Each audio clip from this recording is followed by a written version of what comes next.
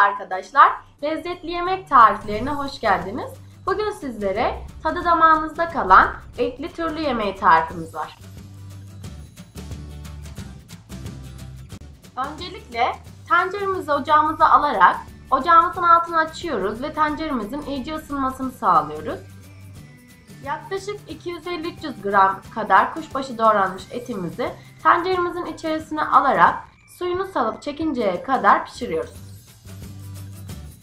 Gördüğünüz gibi etimiz sulandı. Etimiz suyunu çekinceye kadar bekletiyoruz.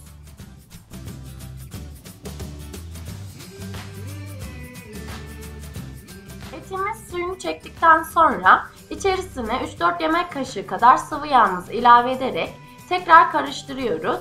Sıvı yağ kullanmak istemiyorsanız zeytinyağı da koyabilirsiniz. Üzerine 1 adet orta boy küp küp doğramış olduğumuz soğanlarımızı ilave ediyoruz ve soğanlarımızı bir miktar kavuruyoruz.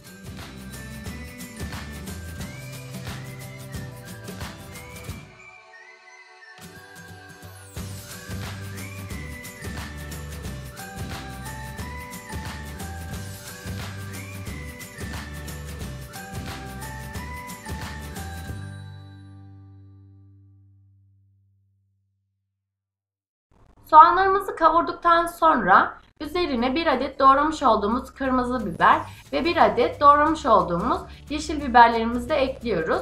Ve 3-4 diş sarımsağımızı da ilave ederek tekrar şöyle bir karıştırıyoruz ve kavurmaya bırakıyoruz.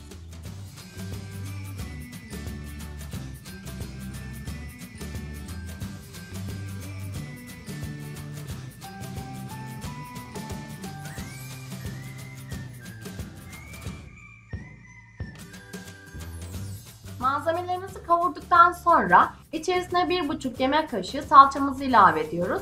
Eğer biber salçanız varsa 1 yemek kaşığı salça, 1 tatlı kaşığı biber salçası da koyarak yapabilirsiniz.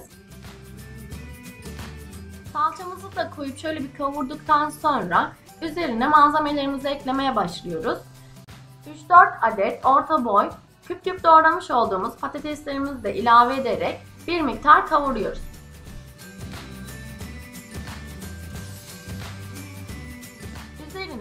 Sırasıyla 2 adet doğramış olduğumuz kabaklarımızı ilave ediyoruz ve bir miktar karıştırıyoruz.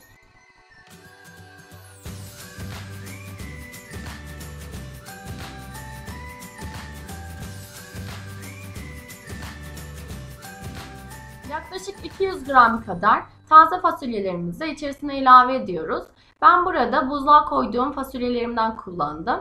Siz isterseniz taze taze alıp o şekilde de yapabilirsiniz.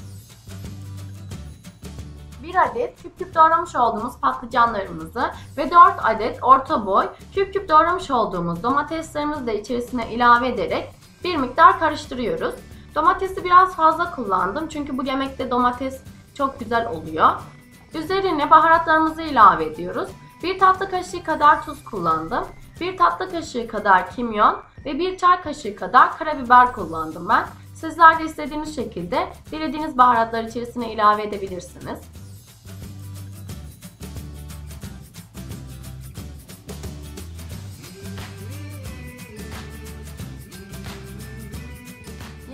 İçerisine 2 su bardağı suyumuzu da ilave ederek kapağımızı kapatarak orta hararetli ateşte yaklaşık 45-50 dakika kadar pişiriyoruz. Malzemelerimiz yumuşayıncaya kadar pişirelim.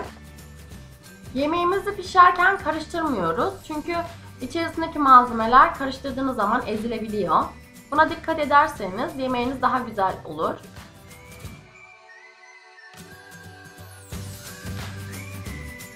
Gördüğünüz gibi türlü yemeğimiz pişti. Malzemelerimiz yumuşadıktan sonra ocağımızın altını kapatıyoruz. Türlü yemeğimiz servise hazır.